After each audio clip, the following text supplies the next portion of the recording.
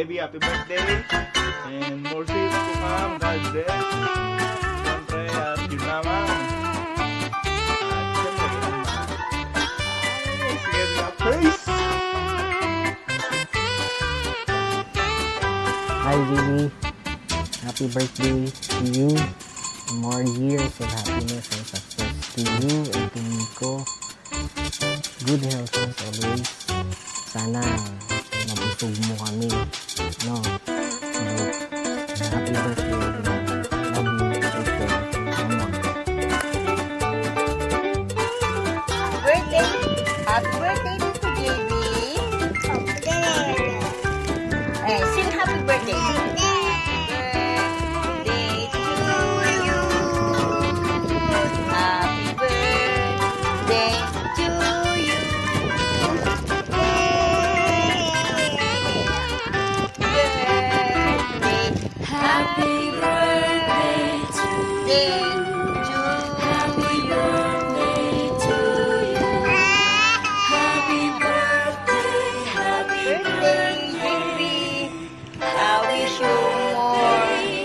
happiness and good pagpatuloy niyo yung magagandang, pagsasamahan niyo ni Miko. San tumagal kayo. Ah, kulang na lang sa inyo kasal. Magpakasal na kayo. Sana next year. Happy birthday! Oh, sing happy birthday again. Happy birthday to you. Happy birthday to you. Happy birthday, happy birthday, happy birthday to you. Happy birthday, JB. God bless you and uh, more, more closings and good clients to come. Keep up your good uh, start, especially in the real estate field. You admired me for your uh, hard works and dedications and the fights against your ambitions. Uh, tingnan mo, ah, in two years' time, in the real estate business, you have just bought a car and a house and lot. So, isa ako sa super happy doon sa na-invest mo sa ganitong ah, field of your ano work. So, napaka happy ni Tita Puno. Ah, ito lang, yung lagi mong tatandaan, maging top producer ka man, eh, stay your foot on the floor. Para laging ang blessings andyan, bigla na lang dumarating. At uh, wag na wag mo ring kalimutan na mag-pray. Kasi yun lang naman lagi yung ating ano eh, yun naman lagi yung ating ah, sandata. Prayer. Alam ko naman na hindi kayo nakakalimot sa taas. So, lagi nyo tandaan yung sinasabi ko na napakahirap ng ating trabaho. Pero, pag ang puso mo at isip ay lagi nasa Panginoon,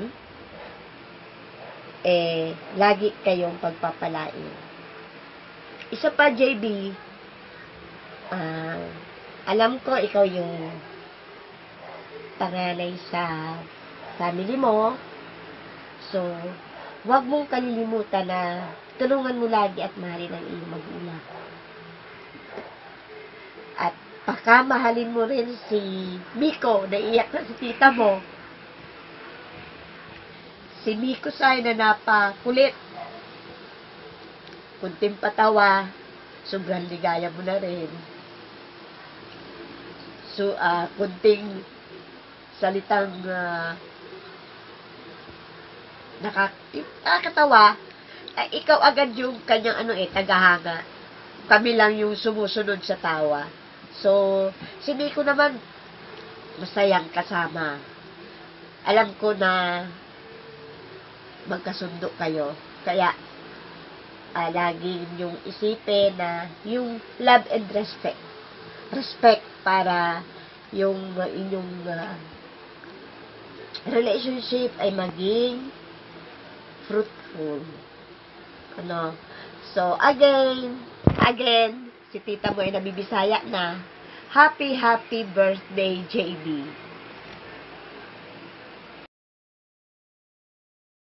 Uh, happy happy birthday, Jebeline. Hopefully, yung matagal mong wish na makapag-propose si Miko sa'yo for your wedding, uh, sana mangyari na. And, uh, yun, uh, enjoy your special day. Uh, stay in good health. Tsaka, More benta. ano lang, yung benta, andyan na yan. Ano kung kayang-kaya mo yan. Just be humble lang lagi. Yun lang. God bless. Hi, Jeveline. Good morning. Happy birthday sa'yo. Alam mo to si Miko, kahapon pa ako kinukulit para batiin ka. Napakaswerte mo ha. Unang-una, may, may Miko ka ha. Ingit ako sa'yo doon. Ingit ako sa'yo doon. Sabi nila, pag birthday daw, dapat talaga yan ang sineselebrate. Kasi, ay, mamaya maiyak ako bigla. Ang bawat gising natin is a blessing. Kaya dapat i-celebrate ang birthday. Kung 26 ka na yon o di 26 candles. Tapos sabi nga ni Father nung nagmisa, di ba? Let us look at the past with gratitude. Kasi at 26, marami na kayong ano to, yung marami ng mga magagandang nangyari sa inyong buhay. Tapos ngayon naman, na nagbe-birthday ka ngayon, September 1, Sunday, ang birthday mo pa si Ma'am Lilet. Sabi nila, normally yung may birthday na September 1. Kasi kayo yung first eh, di ba? So, swerte yung number na yun. Kasi walang, lagi tayo walang ibang number dapat sa puso natin. Kundi number 1. Kasi yun lagi yung i-aim natin. So, ngayon, kung magbe-birthday ka ngayon, you live with enthusiasm.